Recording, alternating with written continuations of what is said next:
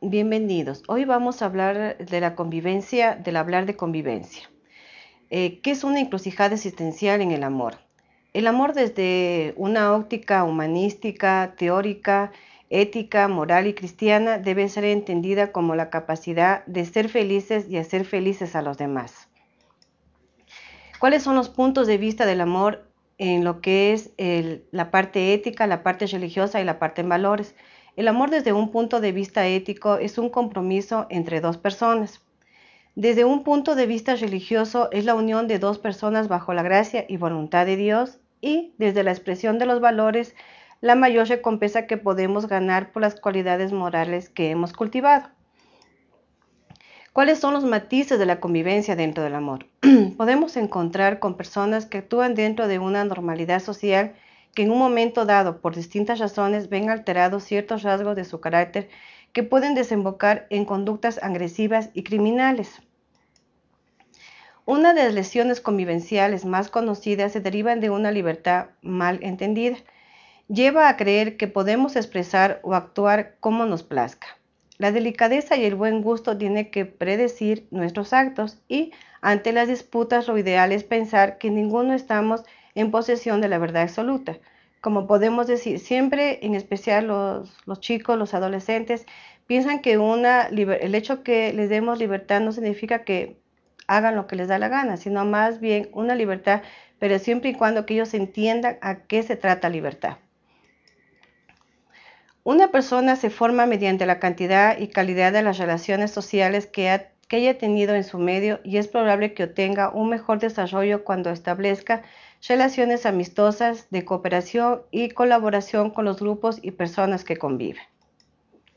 Generalmente los fracasos en las relaciones humanas constituyen la razón principal de la pérdida de salud mental. Es por eso que es tan importante aprender a convivir en armonía con el mundo y con la sociedad que nos, que nos rodea. Es de allí de donde debemos aprender el amor a nosotros que incluye yo y a los otros. Siempre cuando trabajamos en una empresa o cuando trabajamos en diferentes, diferentes instituciones, debemos aprender a convivir con las personas. Eh, sea que tengan buen genio, sea que tengan mal, mal genio, el hecho es que nosotros debemos eh, vivir con ellas porque pasamos todo el, todo el tiempo, mejor dicho, toda la cantidad de tiempo pasamos con esas personas a nuestro alrededor. ¿Cuáles son las ofensas y los desagravios que, que siempre las personas pasan en las instituciones?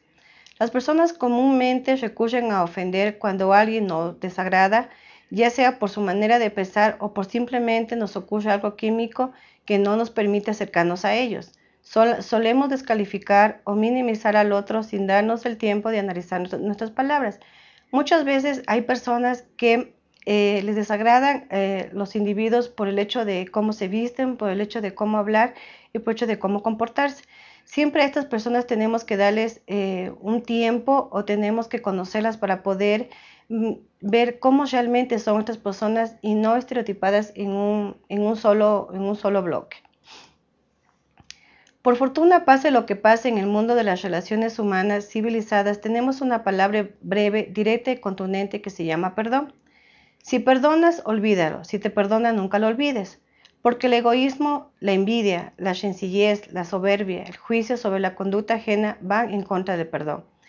Muchas veces nosotros decimos sí, perdonamos, pero no perdonamos de corazón, lo hacemos simple y llanamente, como aire pasajero, que cuando a veces podemos, eh, podemos coger y, y sacar eso que tuvimos, lo lanzamos. Entonces siempre pedir perdón, pero pedir perdón de, de corazón y a veces también perdonar y perdonar de corazón como se dice, boya y, y, vuelve todo, todo nuevamente como ha sido antes. Aunque es muy difícil volver a confiar en esa persona, pero hay que tratar de volver a confiar en, las personas. El efecto del, del, acto de petición de perdón en nosotros mismos y en los demás es sumamente beneficioso y conlleva muchas implicaciones. Lo que les digo no es un acto de humillación, es más bien realza la dignidad de la persona en una condición formidable que nos vincula a Dios Padre, para los que tenemos fe y a nuestros semejantes. Si ofendemos a alguien en la convivencia y presentamos nuestras disculpas, tenemos que saber que hemos de cambiar. cuando nosotros ofendemos a una persona y le pedimos disculpa, debemos cambiar nuestra forma de ser a esa persona, no seguir con ese mismo, con esas mismas iras o con ese mismo egoísmo que tenemos a esa persona o a ese grupo de personas. Eh, hay una frase muy, muy importante que dice, el camino para aprender es amar, es perdonando. Quien desee creer en el amor lo logra amando en el perdón. Hoy perdonaré para siempre y arrojaré de mi alma todos aquellos rencores que me embelecen y me atan al pasado. Hoy estoy dispuesto a olvidar, hoy me demostraré a mí mismo y mi capacidad de amar. Cuando nosotros sentimos, cuando nosotros estamos llenos de fe, llenos del amor de, Dios, nosotros podemos perdonar tranquilamente, pero cuando no tenemos fe, cuando no estamos llenos del amor de nuestro Padre Celestial, es imposible perdonar. Eh, hasta aquí hablamos de este, de este tema. Uh, muchas gracias. Nos vemos en una próxima eh, clase.